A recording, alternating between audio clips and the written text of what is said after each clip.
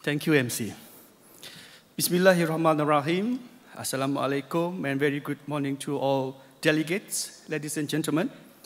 It is a great pleasure for me to introduce our first speaker today, this morning, who is going to talk about promoting peace globally, the reviews of peace in global context.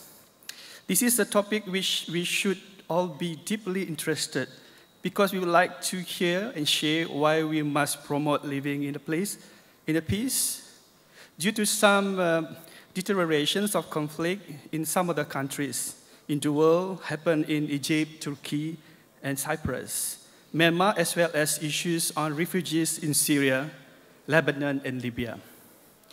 Our speaker is Dr. Wan Muhammad Nazdrol bin Wan Muhammad Nasir. He's a Deputy Dean of Student Development and Entrepreneurship from University Malaysia, Kelantan, Malaysia. Holding PhD in Marketing and Entrepreneurship from University of Victoria, Melbourne, Australia, and also a member of WPF UNESCO. So I'm most honored and I would like to be grateful if you help me to welcome to the stage, ladies and gentlemen, Dr. Wan Muhammad Nazdrol bin Wan Muhammad Nasir. Give him a round of applause.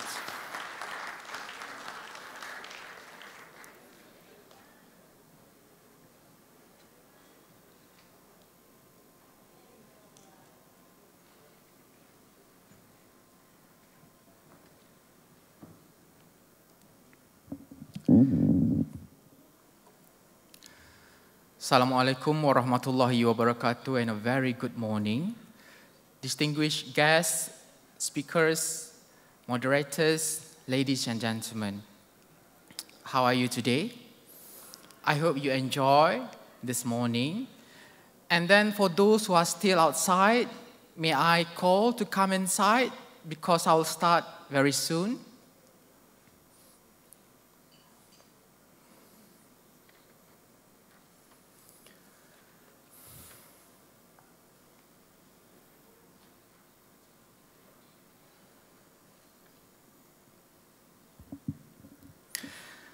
All right, ladies and gentlemen, well, today I will, I will deliver a speech on promoting peace globally, the review of peace in global context. So that is the title of my speech today. And ladies and gentlemen, what is peace actually? I'm sure that we all have our own definition of peace. According to Albert Einstein, according to Albert Einstein, peace cannot be kept by force, it can only be achieved by understanding. So there are two main key points here actually, which is um, the force or enforcement and understanding. These elements are interrelated. All right? Even though that we have understanding among each other, there still need the existence of enforcement or the vice versa. Even though there is an enforcement, but we still need understanding between two parties actually to achieve the peace. So that is Albert Einstein's perceive of peace. And how about you? What is peace means to you?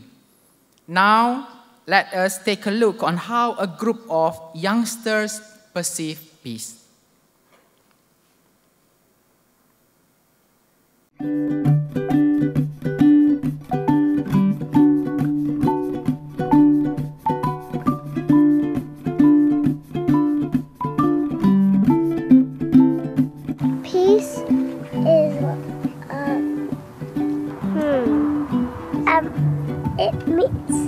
That you can make peace by making your body be calm. If you need the space, you just scoot. settle and quiet, When you're listening to other people, just being calm. You can be free to be creative. Family. harmony, a state of enlightenment. For me personally, like being asleep, like I think it's probably one of the more peaceful things you can do. whenever you get to do exactly what you love. community Being content. Not being afraid to go where you want to go, do what you want to do. Fulfilled. The element of being nice to someone. That you have space for yourself. Pretty. Pillows and blankets and beds. School. It will look great. Being quiet. Being able to agree on things and compromising. Taking care of your friends. Probably treating others the way that you would want to be treated. People playing. Uh, setting aside differences to uh, come together for the greater good. It would look like a place that had direct communication as a real basis. Really big trees. I feel like trees make people nicer. People think about other people before they say stuff. Just being chill with one another. Respecting everyone's opinion and not judging anyone. Probably Cabelli. I just feel so loved here and it's a big community.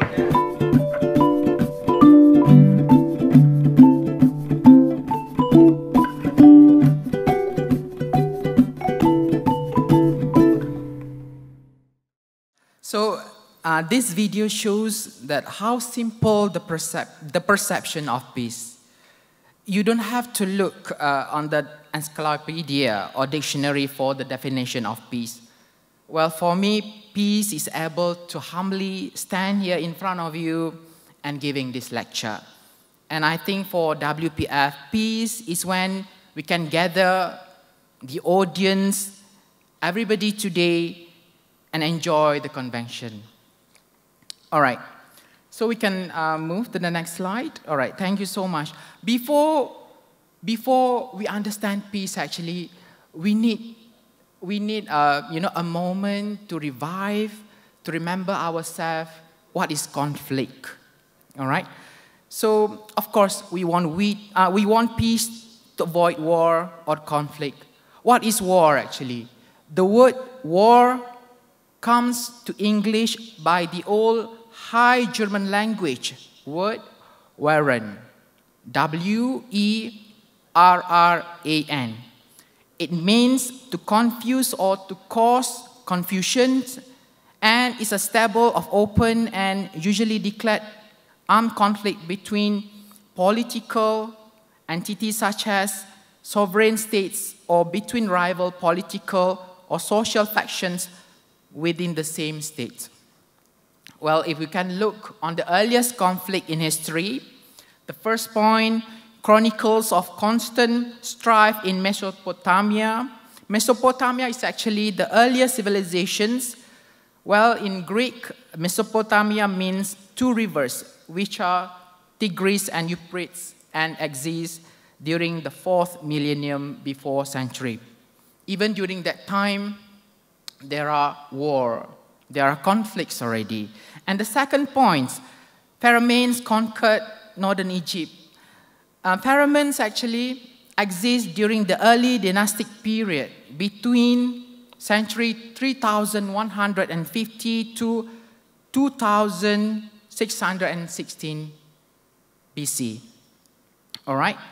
So it's, it's not weird actually in Egypt if there is a conflict until now because it, it even during the earlier civilizations. All right?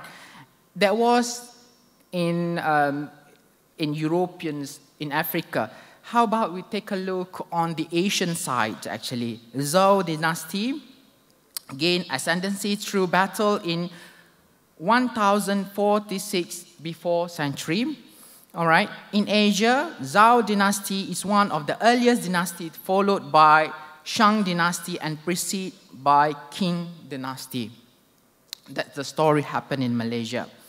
And as well as in Europe, actually, in Europe, the success of Scipio Africanus in the defeat of Carthage in Rome between 236 to 183 before century.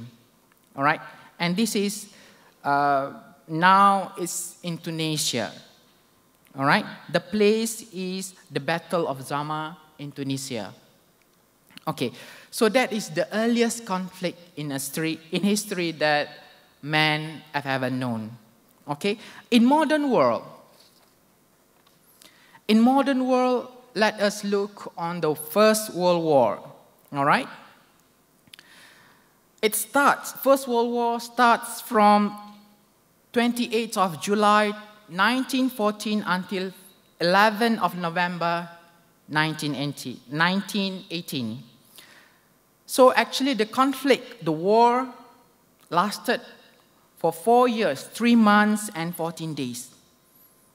And during that period, around 8.5 million soldiers died and more than 13 million civilizations died.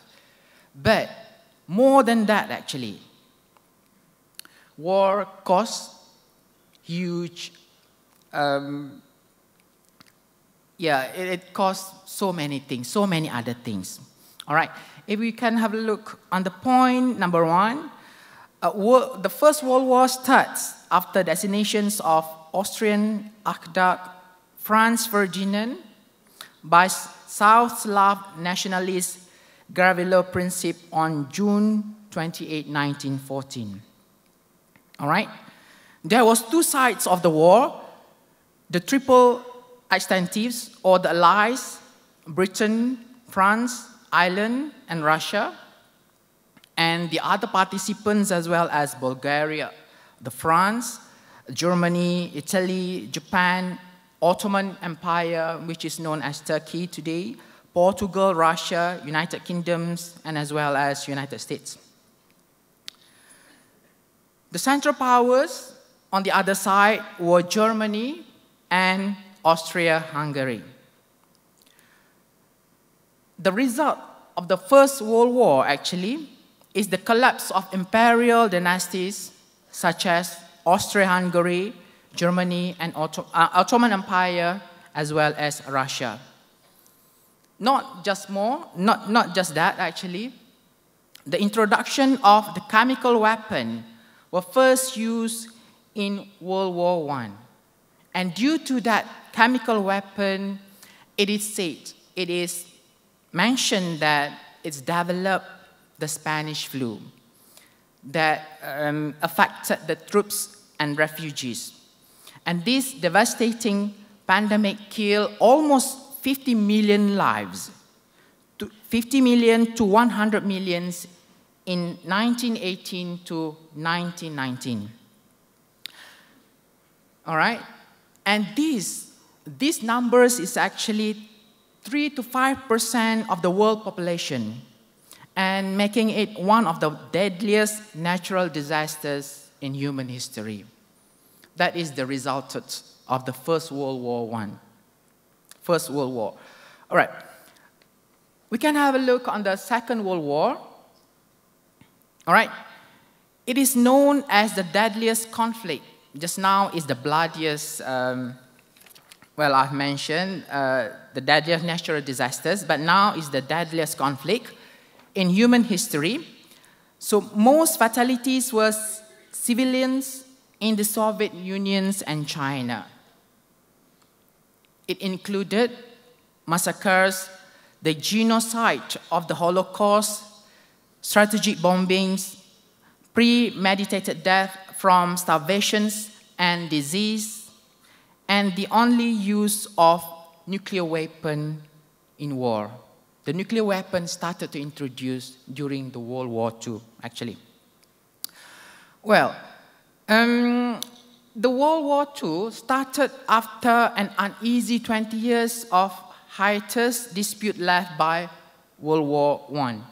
And the participants are Canada, China, France, Germany, Italy, India, Japan, as well as Soviet Unions, United Kingdoms, United States. So these form two opposing military, the Allies and the Axis. In general, it, it involved more than 100 million lives, 100 million people, and as well as 30 countries. All right? So World War II started when Britain and France declared war on Germany, on which the Nazi party ruled by Hitler want to rule Europe and start to invade Poland. After the Nazi party invade Poland, then uh, the Britain and France declared the World War II. And it started on 1st of September 2000, I mean, 1st of September 1939, and some said that it started on 3rd of September 1939. It depends on uh, the historians, actually. Well, by summer 1941, Nazis or Germany had invaded France, Belgium, Holland, Luxembourg, Denmark, Norway, Greece, Yugoslavia, and USSR. In Asia, on the other part, Japan want to control Asia and Pacific. All right? World War II actually caused 60 to 100 million civilians who died and involved 70, more than 17 million of soldiers. The end of the World War II come when the hit, the, I mean, the, the leader of Nazi party, Adolf Hitler, suicide on 30th of April 1945. And suddenly the power getting weakened. And seven days after the suicide of Adolf Hitler and the less than 40 hours wife, Eva Braun or Eva Hitler, Germany unconditionally surrendered on May 7, 1945. That is on the Europe part. And, then the, and on the Asian part, actually, the Japanese surrender on 2nd of September 1945, which was brought by the US dropping atomic bombs on the Japanese towns of Nagasaki and Hiroshima. So that event, that event happened on August 6, 1945. And the results of World War II is actually devastating. But one of the famous cases, one of the famous story that I would like to quote here is the Anne Frank, one of the most discussed Jewish victims of the Holocaust. And she gained fame posthumously with the publication, The Diary of a Young Girl. So the diary started from June 14, 1942 until August 1, 1944. And it's been published more than 60 languages. So it's a heartbreaking story. If you, if you have a chance to read uh, the diary of Anne Frank, you know how hard it's actually to live during the war, which we are now, most of us, most of us is forget all of those uh, things. All right. Um, World War II actually resulted in the beginning of the nuclear age. All right. The dissolutions of the League of Nations, the creation of United Nations, and as well as the beginning of Cold War, which lasted until 1990s. All right. However, even after the World War II last long time ago in 1945, well, let's see the face of the current world today.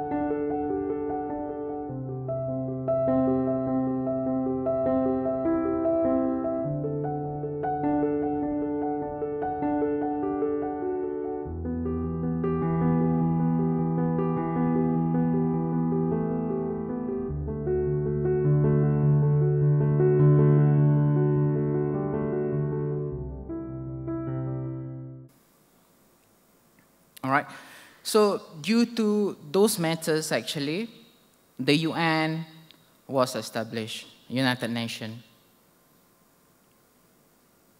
All right.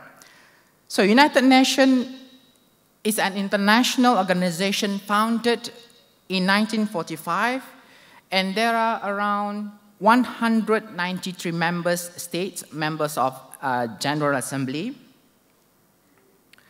The first name coined by US President Franklin D. Roosevelt during Second World War I, sorry, during the Second World War, and the role is to promote and secure international cooperation and to create and maintain international order.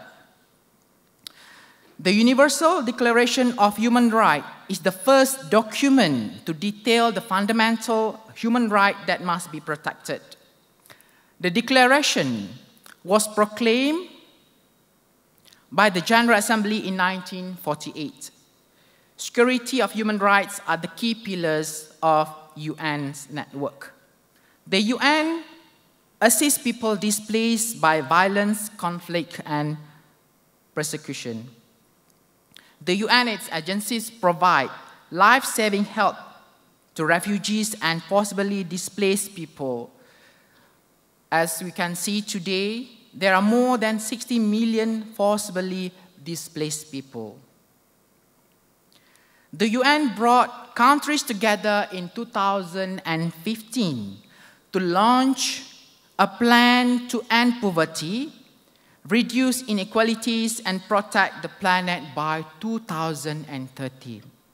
The Sustainable Development Goals provide a common blueprint for countries to reach a world of dignity for all by 2030. The organization won the Nobel Peace Prize in 2001, and a number of its officers and agencies have also been awarded the prize. And it's not just United Nations, actually. The UNESCO has been established to tackle on certain issues. UNESCO or United Nations Educational, Scientific and Cultural Organization was established on November 4, 1946. And it's, uh, it is a specialized agency for the United Nations. To contribute to peace and security in the world by promoting collaboration among nations through education, science, culture, and communication to spread the universal respect for rule of law, freedom, and human rights. UNESCO is the agency for preservations of ancient culture and also cultural monuments. UNESCO's World Heritage Program, which helps poor countries to protect the ancient treasures was established by the US in 1972 and in no way affects US sovereignty or public or private property rights. It simply recognizes and supports sites and monuments of world-class beauty. And besides that, UNESCO looks to the US for participations and leadership in its human rights, for, um, such as forums, and in the construction of human rights and democratic citizenship curricula in developing countries and countries in transition. UNESCO's mandate is to further universal respect for justice, the rule of law, and for the human right and fundamental freedom which are affirmed for the people of the world. All right? So we hope that these two uh, organizations is actually able to take care more problems that we are, we are facing today. Okay? Despite that, it's, um, it's better for us actually to check on the Global Peace Index and I do have here, actually, the Global Peace Index that is uh, the, the current one in 2018.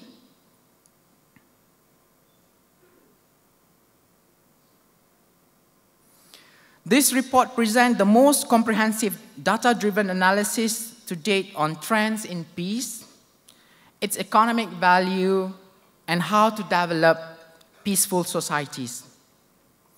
As you can see, Afghanistan, South Sudan, Iraq, and Somalia comprise the remaining peaceful societies. The 2018 Global Peace Index uniquely reveals that peacefulness has a considerable impact on microeconomics performance. So that's why actually we are all longing for peace because of the prosperity. In the last 70 years, per capita growth has been three times higher in, high, in highly peaceful countries when compared to countries with low level of peace. Peacefulness is also correlated with strong performance on a number of microeconomics variables. Interest rates are lower and more stable in highly peaceful countries as the rate of inflation. Well, as you can look actually on the 2018 Global Peace Index, um, deterioration in four most peaceful regions, it shows that the state of peace is actually, you know, getting smaller. All right? Such as Europe, North America, Asia Pacific, and South America. Iceland remains the most peaceful country in the world, a position that, is held, that it has held since 2008. All right? The populations of Iceland is around 350 to 400,000. Uh, and, you know, I, ironically, the difference between Iceland and Greenland is Greenland is covered by ice, wherever the Iceland actually is such a green place, all right? And in Greenland, just to, to, to, to mention a few facts, there are around just around 50,000 uh, residents there. Okay? Western European country experienced one of the five largest deteriorations, with Spain falling 10 places in the ranking to 30th, owing to internal political tensions and an increase in the impact of terrorism. All right? And at the 2018 Global Peace Index, the red, the red color signifies the most hostile place compared to the green color, which is uh, considered as the most uh, peaceful place, actually. And if you can have a look, uh, Malaysia, Malaysia is still green, even though it's, it's not uh, the dark green, but we are still in peace. And it shows that during the last election, the transition of power happened in a, in a very, very smooth state, actually. And we are proud of that. As a Malaysian, we are really proud of that. All right? Okay, and in the Middle East, it, in the Middle East, uh, just to, to briefly mention that it currently encompasses the area from Egypt, Turkey, and Cyprus to the west, uh, in the west to Iran, and the Persian Gulf in the east, and from Turkey and Iran in the north to Yemen and Oman in the south. So these regions actually is a conflicted regions. And they, they have some complete revolve in Syria as well, the Palestine, Iraq, the post-Arab Spring issues. So the destruction of country peace and development actually resulted in loss of lives. That is the case of Middle East. All right? This is the case of Korean Peninsula. The war ended decades ago, but fears still remain. North Korea spent billion dollars on the military assets, but citizens' life remained poor and country's development left far behind. But actually, to tell the truth, you know, all the facts is all based on the mass social, I mean, in, uh, according to the mass media, according to the written publications, we don't really know what happened there. Okay? So what being reported is what we are uh, perceive. All right? However, recently there are peace talks between US Presidents Donald Trump and Kim Jong-un from North Korea in Singapore. As and you can see, US always take, uh, United, I mean, United States of America always take the initiative to bring peaceful among countries or maybe the vice versa. All right, so it depends. Okay, um, it's not just that. We have a look on Myanmar. All right, Myanmar is actually one of the continuous issues since last year as the pressure been given to Rohingya community and they become the refugees. Some of the refugees uh, seeking shelter, mostly in Bangladesh, but some in Malaysia as well. And the role of UNCHR for solving vast refugee number is actually very important uh, at the current moment. All right? However, however, we look in, uh, in some perspective, this is uh, the human rights activist, the human rights activist, and all of you know Aung San Suu Kyi, the human rights activist. And she said that my attitude to peace is rather based on the Burmese definition of peace. It really means revolving, removing, sorry. It, mean, it really means removing all the negative factors that destroy peace in this world. So Peace does not mean just putting an end to violence or to war, but to all other factors that threaten peace, such as discrimination, such as inequality, and as well as poverty. But at this recent moment, actually, uh, Aung San Suu Kyi is getting a lot of criticized from everywhere.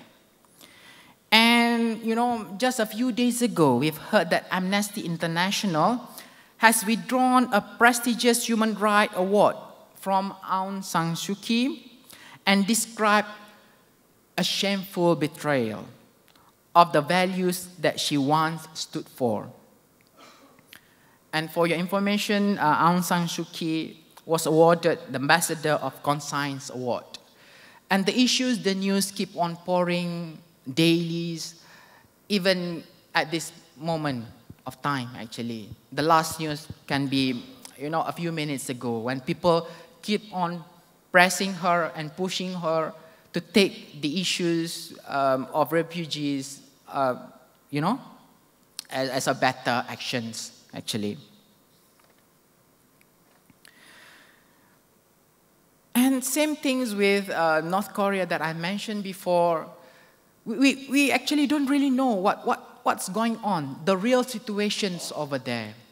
All right, because of course Aung San Suu Kyi denied such problems, but from what reported from the media, from the social medias that we've known, there is a terrible thing happened in Myanmar that caused the Rohingya to flee the country to Bangladesh or to other countries, Nazdrol, such as um, Malaysia. You have five minutes. Thank you. All right. And still, there are some ongoing conflicts as well in the Philippines. The conflict between various militant groups and the governments, which claim thousands of human lives and hindered countries' development. It's undeveloped resource and vast potential land for agriculture is such a waste, actually. When there is a conflict, uh, the resources are underdeveloped, and it's such a waste to the nations. And these are the issues on the refugees. Can we have a look? Some issues on the refugees. Exodus of refugees from Syria, Lebanon, and Libya to Europe. Same issues like uh, the Rohingya before. Tremendous refugees problem in European countries burden on socio-economic impact for the countries involved. That is the result of war or conflict that happen nowadays. So, uh, next slide, please. So this is actually the main point of my lecture today. All right, how we would like to promote peace. Okay, for me, there are three, three elements on how you can promote peace. It comes from personal, it comes from the community, and it comes from the education. All right? So we will try to promote unity, try to promote justice, and try to promote kindness as well. I am a marketing person. I taught marketing and entrepreneurship at University Malaysia Kelantan. And this is how I promote peace giving lecture and education to the students or to the audience. To promote peace starts at an individual level. We all have our own purpose or duty according to our own area or niche. Engineers, doctors, lawyers, politicians, we all can promote peace accordingly. And how you can promote peace, ladies and gentlemen, can ask yourself. All right, that is on the personal level. For the community level, things that you can promote peace is to become more familiar with your community. And you can plan a peaceful event like what we have today, actually. And you can explore more volunteer opportunities.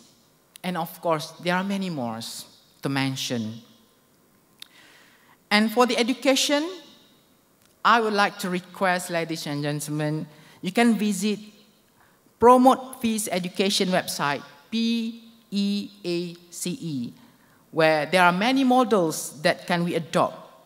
It is not a rocket science, actually. Peace is not a rocket science. It's just on how we can implement at our educational system or at our curricula. It's all about mixing the peace element in our systems. All right, uh, just a little bit more. All right, the next slide, please. The significance of peace and proper. This is uh, nothing strange to us, actually. When we uh, gain peace, these are the things that we can enjoy, that we can benefit. The first one is the revert usage of money spent on military purposes to social, uh, social well-being, to the physical development of the country, to educations, or to other economic activities. And also we can enhancing life quality in drought and hunger-stricken countries like Somalia, Ethiopia, and etc. actually. So the money that's supposed to spend on military, you can move to that, uh, to that part. And it also will create conducive relations between nations and love among the nationalities. And last but not least, of course, it will encourage people to move freely among nations, create opportunities for global tourism activities, economic activities, and as well as the cultural exchanges that's been promoted by UNESCO. All right, and a little bit of words of wisdom, all right?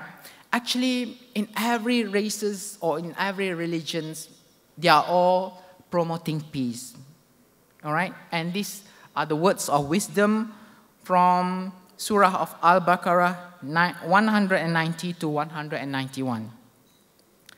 And I also would like to quote some word of wisdom from a very famous person that sounds very simple. Of course, it is simple.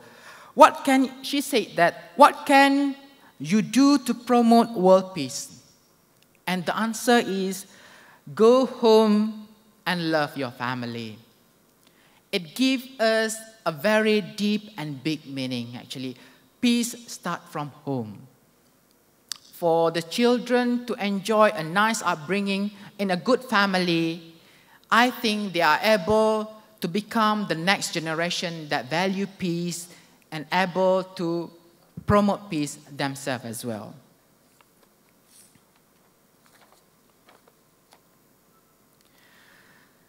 As what mentioned by Eleanor Roosevelt, it isn't enough to talk about peace. One must believe in it. And it isn't enough to believe in it. One must work at it. another quote from Mahatma Gandhi, an eye for an eye only ends up making world blind. And I'm sure you can translate in many ways. So what is peace to you?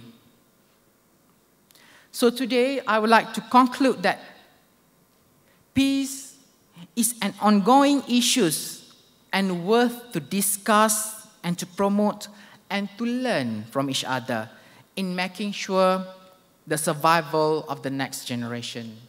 That's all for my speech today. Thank you so much. Thank you. Just in time, Dr. Nazdrol. Right. Uh.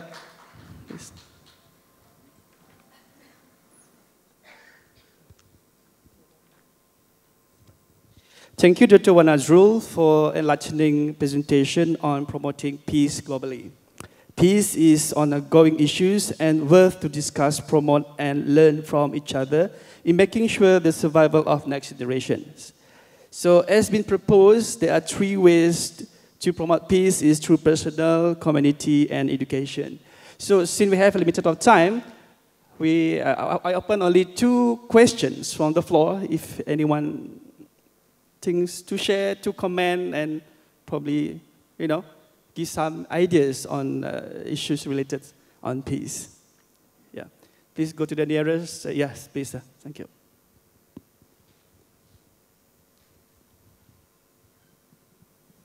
Hello. Assalamualaikum and very good morning. My name is Azman. I'm an engineer by profession. Okay, uh, let's talk about peace as opposed to wars and conflicts. However, historically, we have seen that war and conflicts has sparked the innovation of technology. For example, during the Cold War, we've seen the highest level of human achievement when we sent human to the moon. So my question to you, Dr. Wan, do you think in a peace-only environment, there will be the similar kind of push and spark in terms of technology innovation? Thank you. All right. Uh, thank you so much. Uh, that uh, very nice gentleman. Well, it's a very tricky question, actually. Um, he mentioned that during the war and conflict, we innovate and create something for benefits of human life. Is it, is it true? All right. So instead of peace, are we able to come out with such uh, innovations or such technology, actually? Well, the answer is quite simple for me. Um, yeah, of course, humans, when they face some problem, they tend to have something to solve the problem. All right? So when there is war, which is the problem, and you need something to solve the problem that, I mean, occurred during the war. All right. But I think in peace, in the state of peace, even though there is no conflict or there is no war, there still can uh, there still uh, an innovations can be created, but maybe on the other on the other sense actually. So it does not need war or conflict so that we can innovate on or that we can achieve something. All right, thank you. Any, any more questions?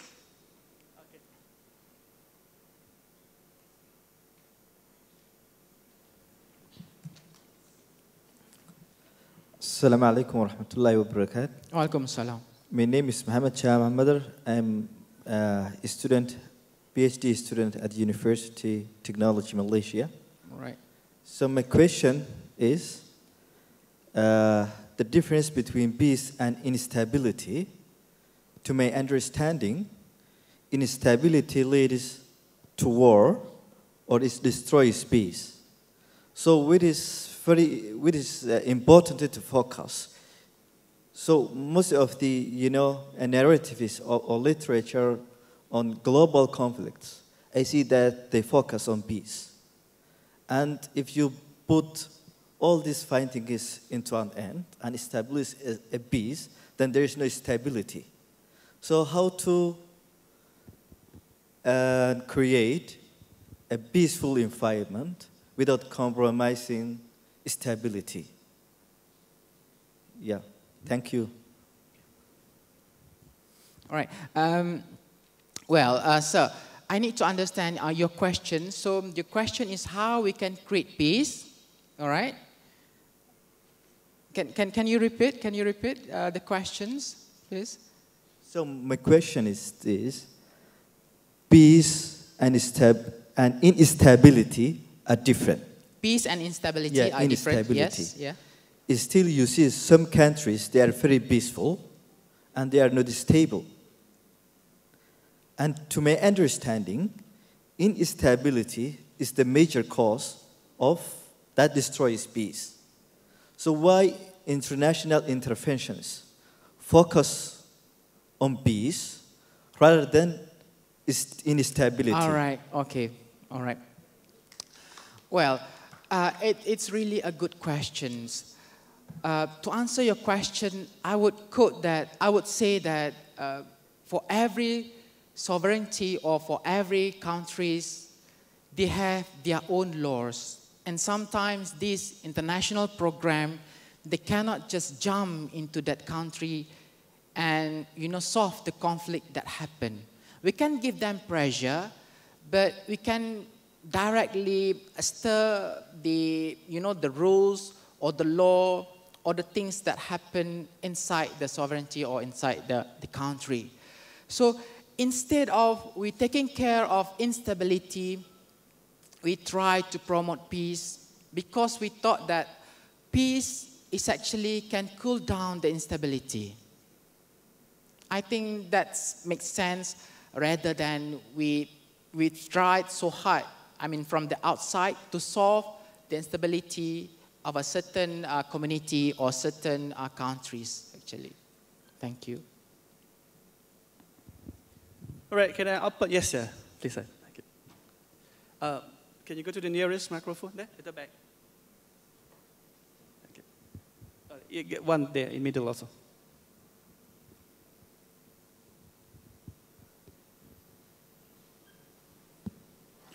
Thank you, Mr. Chairman. My name is Darby. I'm a pensioner.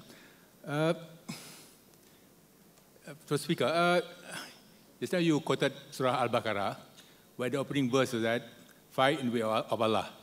Do you think that the present attack by Saudi Arabia, the guardian of the Holy Land of Mecca, on, Yemen, on, on Yemen, is a fight in the way of Allah? Thank you very much. All right, thank you so much. Uh, I, I don't get your name just now, a very nice gentleman over there. All right, okay. We are actually confused our fights for religion, our fight for Islam, and as well as our fights, uh, I mean, for the sake of politics or for the sake of powers. So, which one of which most of us actually tend to mix everything up. So, sometimes people quote in Islam, you know, but the action is actually towards the terrorism. Islam that I know is only teaches the values of virtuous, value of peace. All right? So I think it's, it's, it's totally, uh, it, it's totally not actually the, the teaching of Islam to invade the other countries, but maybe because of the desire, the other desire, the political, the powers, or we, we never know what, what's going there. But all that we should know is that the values for every religion is all about promoting peace. Yeah.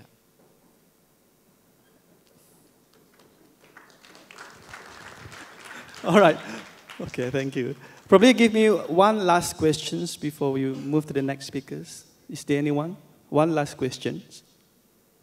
Yes, sir the nearest microphone there.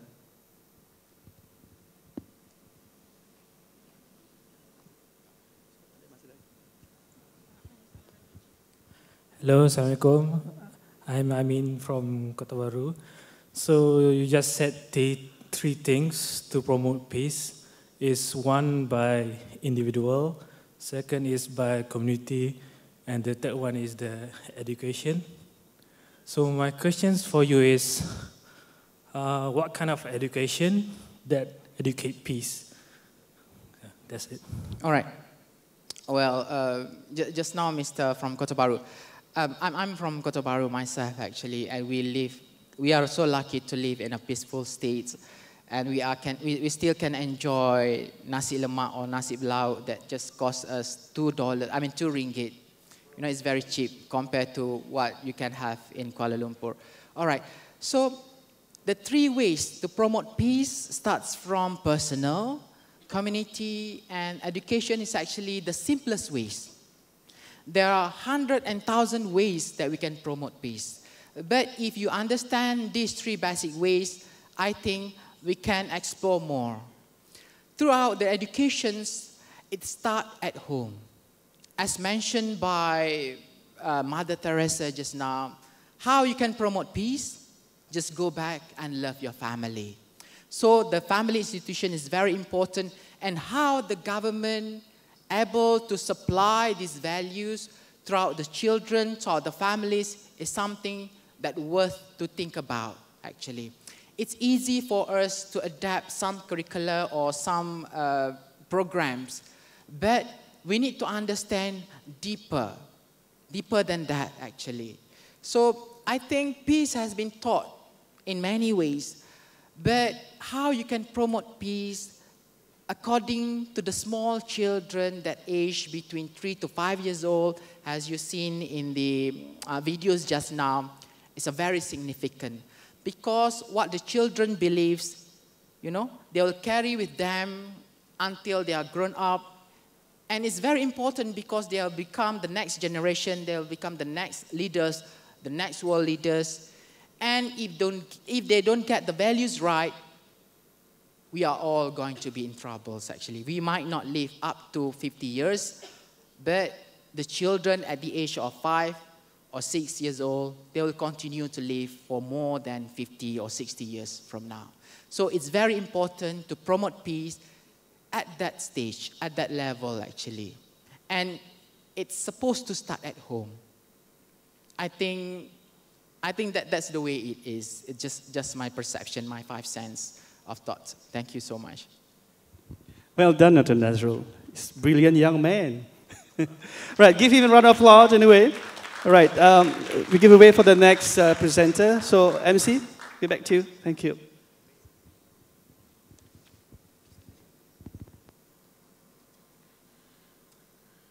Well, ladies and gentlemen, that's the end of the first paper presentation. We would like to thank Dr. Wan Muhammad Nazdrol bin Wan Muhammad Nasir, Senior Lecturer in University Malaysia, Kelantan, for being the presenter.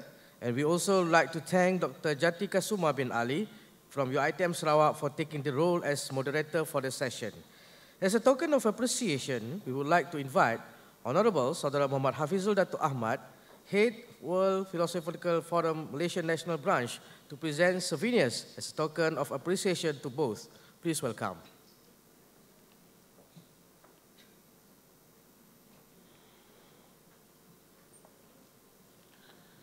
And first, please welcome Dr. Wan Muhammad Nazdrol bin Wan Muhammad Nasir to receive the souvenir.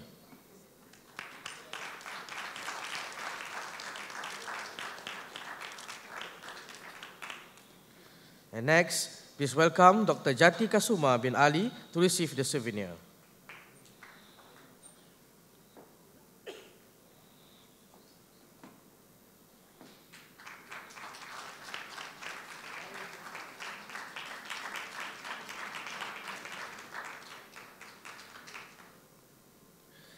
We would like to thank Saudara Muhammad Hafizul Dato Ahmad for presenting the souvenirs.